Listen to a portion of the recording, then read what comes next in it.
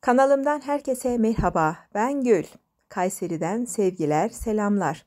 Ütü temizliği nasıl yapılır? Bir önceki videoda ütü kireci temizliği yapmıştım. Bugünkü videoda ütü tabanının temizliğini yapıyorum. Ütü tabanımızda yanmalar, kararmalar, yapışmalar olabiliyor. Bunu nasıl temizleyebiliriz? Diş macunu ve diş fırçası kullanıyorum ben. Diş macunu ve diş fırçası ile ütü tabanı nasıl temizlenir? Öncelikle diş macununun beyaz olması gerekiyor. Renkli bir diş macunu kullanmamaya özen gösterelim. Elimde bu marka vardı. Herhangi bir marka olabilir.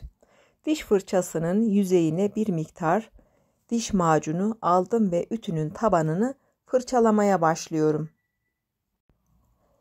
Ütünün tabanındaki gözeneklere tabii ki macun girecektir. Ziyanı yok. Daha sonrasında bunu temizleyeceğim. Yanmış, yapışmış, kararmış olan kısımlara fırça ile böyle biraz bastırarak temizliyorum. Fırçanın çok sert olmaması gerekiyor. Orta sertlikte bir fırça ile temizliyorum. Fırçadan da görüldüğü üzere hemen temizlenmeye başladı. Yavaş yavaş yanmış, yapışmış kirler çıkmaya başladı. Böyle devam edelim. Hepsi çıkıyor merak etmeyin. Ütümüzün tabanı tertemiz oluyor.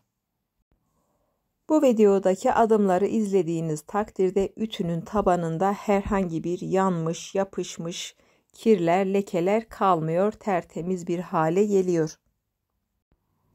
Macunun az geldiği durumlarda bir miktar macun ekleyebiliriz. Bu diş fırçasını ve macununu ben sadece ütü temizliğinde kullanıyorum. Farklı alanlardaki kullandığımız fırçayı ütüde kullanmayalım. Hijyen açısından özellikle sadece ütü için ayırmış olduğumuz bir fırçamız ve macunumuz olsun. Bunu zamanla ütünün tabanı sarardığında, kirlendiğinde kullanmamız gerekiyor. Ütü tabanı yavaş yavaş temizlenmeye başladı. Bu esnada beyaz sirke kullanıyorum. Sadece beyaz sirke kullanmamız gerekiyor. Farklı sirkeler olmasın. Elma, üzüm veya kendi elimizde yapmış olduğumuz sirkeler de dahil kullanmıyoruz. Sadece beyaz sirke kullanıyorum. Beyaz sirkeyi kasenin içerisine şöyle bir miktar aldım çok fazla eklemenize gerek yok. Sadece ütü tabanını silmek için kullanacağım. Havlu kağıt kullanacağım. Pamuk veya yumuşak bir bez de olur. Beyaz sirkenin içerisine az bir miktar bastırarak beyaz sirke ile ıslattım ve daha sonrasında ütünün tabanını siliyorum. Kağıt havluyla aldığım yerler net bir şekilde görünüyor. Havlunun üzerine kirler, lekeler hemen çıkıyor. Hala bir miktar yanmış kirler, lekeler mevcut. Onları da yine tekrar bir tur daha yapmayı düşünüyorum. Bir tur daha yaptıktan sonra bütün kirler yok olacak. Fırçamda bu halde bunu yıkayıp geliyorum. Taban temizliğini buradaki maddelerle temizleyenler var. Tuz, yağlı kağıt, bulaşık teli gibi sert cisimlerle ütü tabanı temizliği yapanlar var. Bunlar ütünün tabanına zarar verir. Tuzu yağlı kağıdın üzerine serpiştirerek üzerinden ütü geçenler var. Ütü tabanının çizilmesine neden olursunuz. Kesinlikle bunu denemeyin. Bir tur daha yapacağımı söylemiştim. Şimdi bir tur daha yapıyorum. İkinci sefere yaptığım zaman Ütü tabanındaki bütün kirler, lekeler gidecek. Fırçam şu anda kirlenmeye başladı.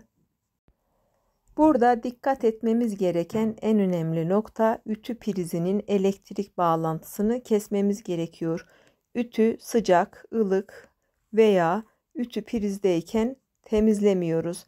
Ütünün soğuk olması gerekiyor. Ütünün ılık veya sıcakken temizlenebileceğini söyleyenler var. E, bunu zaten temizleyemeyiz ütü sıcakken hem ütüye hem kendimize zarar veririz. En önemlisi elimizi yakabiliriz. Diş macunu ve diş fırçası ile işim bitti. Şimdi kulak çubuğu ile temizliğime devam ediyorum. Kulak çubuğunu beyaz sirkeye bastırarak ütünün buhar çıkan kısımlarını bu şekilde temizliyorum. Buhar çıkan gözenekleri oldukça kireçlenmiş olabiliyor. Bu kireçleri temizlemek için bu yöntemi kullanıyorum. Bu gözeneklere kesinlikle sert cisimlerle müdahale etmeyelim. Örneğin kürdan ile temizleyebiliriz. Kürdanı saplamıyoruz. Bu oldukça yanlış bir davranış olur. Kürdanın uç kısmını sadece gözeneklerin kenar kısmında çevirerek kireçlerini temizliyoruz. Ütünün gözeneklerine porçöz gibi veya sulandırılmış limon tuzu gibi maddeleri şırınga ile enjekte edenler var. Bu şekilde ütü tabanını ve bu gözenekleri temizlediğini düşünüyorlar. Bu yanlış bir durum. Ütüye zarar veririz. Özellikle porçöz ütünün kablolarının yanmasına neden olur. Limon tuzu da aynı şekilde. Bu yöntemleri kullanmıyoruz. Ütümüz öyle kolay alınmıyor maalesef. Ütü almak öyle çok kolay değil. Bu nedenle ütümüzü yabancı maddelerle temizlememeye dikkat ediyoruz. Diğer yapılan bir yanlış ise fırın tepsisinin içerisine bu yağ çöz gibi, porçöz gibi maddeleri boşaltarak ısıtılmış ütüyü bu maddelerin üzerine koyanlar var. Bu da zaten şartelin atmasına neden oluyor. Ayrıca ütü tabanının düşmesine de neden oluyor. Ütü tabanımızı bu şekilde de temizlemeyelim. Beyaz eşya üreticileri kullanım kılavuzu diye küçük bir kitapçık hazırlıyorlar zaten. İçerisinde ütüyü veya farklı beyaz eşyalarımızı nasıl kullanabileceğimiz anlatılıyor ve nasıl temizleyeceğimiz de anlatılıyor. Kitapçığa uyduğumuz takdirde hem ütümüzün hem de diğer beyaz eşyalarımızın daha uzun süre kullanımı mümkün.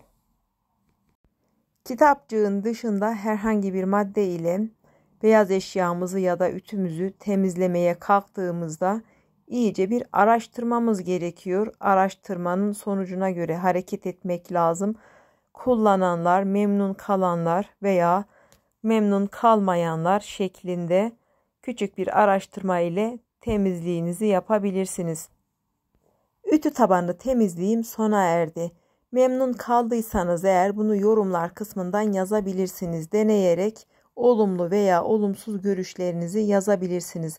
Ayrıca beğenileriniz ve yorumlarınız kanalımın gelişip büyüyebilmesi için oldukça önemli. Bunu da ihmal etmezseniz sevinirim.